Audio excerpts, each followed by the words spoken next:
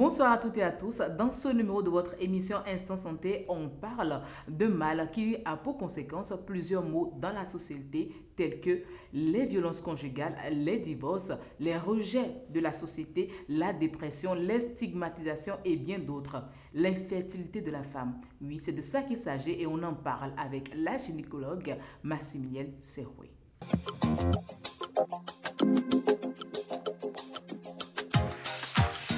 Bonsoir docteur. Bonsoir madame Yasmine.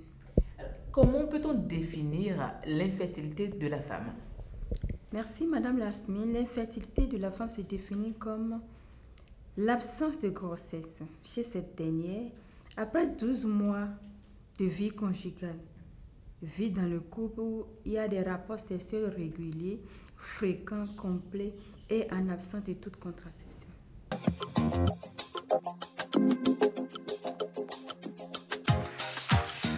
Quels sont les signes pour reconnaître une femme qui souffre d'infertilité? Merci Madame pour la question. Les signes pour reconnaître qu'une femme souffre de l'infertilité. D'abord, c'est une, une patiente qui, une femme qui vient se présenter en consultation et son motif de consultation, c'est que docteur, je veux tomber enceinte. Et c'est dans l'interrogatoire que tu te rends compte que c'est une femme qui est en ménage, ça fait plus d'un an de plus d'un an et les rapports sexuels sont réguliers, sont fréquents, sont complets et que cette femme n'a jamais utilisé de méthode contraceptive. Quelles sont les formes d'infertilité qu'on peut avoir chez la femme? Nous avons deux types d'infertilité chez la femme. Nous avons l'infertilité primaire.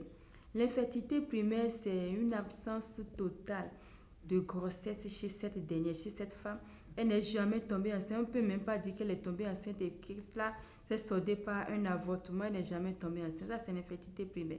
L'infertilité secondaire, c'est une femme qui déjà eu auparavant des grossesses. La grossesse peut aboutir à un accouchement comme ça peut ne pas aboutir. Déjà qu'il y a une grossesse dedans, c'est une infertilité secondaire. Quelles peuvent être alors les causes de l'infertilité de la femme? Merci Madame Yasmine. Les causes de l'infertilité de la femme sont multiples. Nous allons vous montrer cela sur le schéma montrant l'appareil génital de la femme. Sur ce schéma, je vous montre par ici. Voilà l'utérus de la femme. Voilà le vagin. Voilà les trompes. Et voilà les ovaires. D'accord? Donc, comme, nous pouvons avoir un problème au niveau des, des ovaires, le n'arrive pas à jouer correctement son rôle, à savoir l'ovulation chaque mois. Ou soit l'ovaire est porte de kiss, vous voyez ce que j'ai dit, ou autre chose. Donc l'ovaire, n'oublions pas que l'ovaire reçoit aussi des informations depuis la tête. Nous avons la femme ici, nous avons les seins ici, l'appareil génital se trouve ici.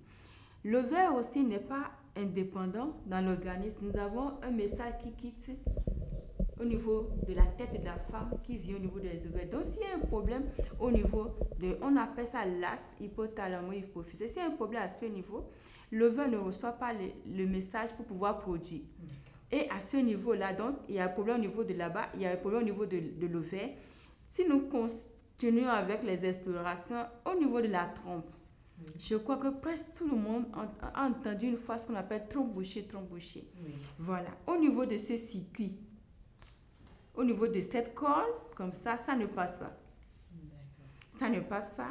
Nous continuons, nous progressons, nous voyons l'utérus. Soit c'est un utérus qui, où il y a plusieurs fibromes, soit c'est un fibrome qui vient boucher la voie des trompes ici, ou le fibrome occupe toute la cavité utérine. On progresse ici, nous avons peut-être une femme qui souffre de la sécheresse vaginale.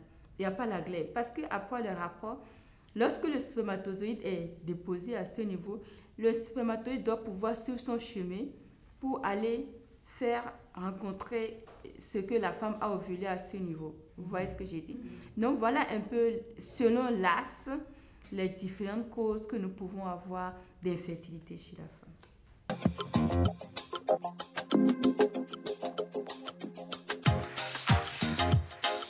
Existe-t-il un espoir pour ces femmes qui souffrent d'infertilité ou qui ont déjà souffert d'infertilité?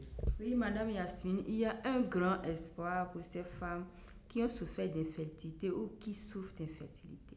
Alors, quelle est la solution?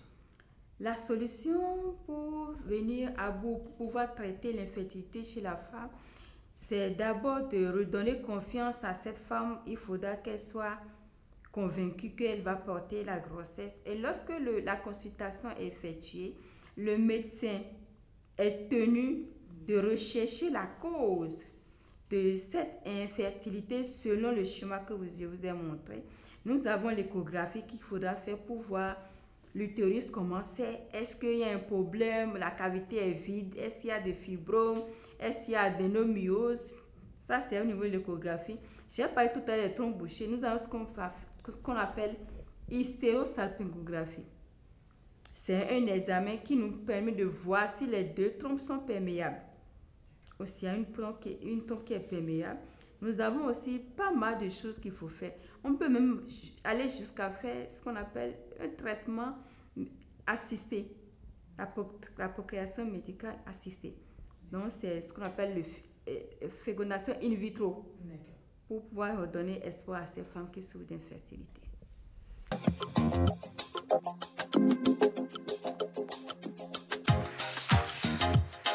Alors, docteur, quelques conseils pour euh, nos téléspectateurs, pour ces femmes, pour ces jeunes filles, afin d'éviter de faire un jour une infertilité. D'abord, le premier conseil, c'est à toute jeune fille de retarder le plus possible les rapports sexuels. Retarder le plus possible les rapports sexuels pour éviter de faire ce qu'on appelle les ISC, les infections sexuellement transmissibles. Parce que même si cette jeune fille se dit qu'elle a fait le planning, le planning peut éviter la grossesse, mais le planning n'évite pas les infections sexuellement transmissibles. Une fois au ménage, après 12 mois de rapports sexuels réguliers, fréquents, si elle constate qu'elle n'est pas tombée enceinte, il faudra qu'elle puisse se présenter voir à l'hôpital pour voir le personnel médical afin qu'on puisse dire qu'est-ce qui ne va pas et lui trouver une solution à son problème. Merci docteur, chers téléspectateurs, vous l'avez compris, l'infertilité n'est pas une fait en soi. De l'espoir, vous en avez encore. Vous pouvez encore redevenir mère. Ce sera tout pour ce programme. À la prochaine pour notre numéro, mais n'oubliez pas les commentaires sur la page Facebook Instant Santé. À la prochaine et à très bientôt.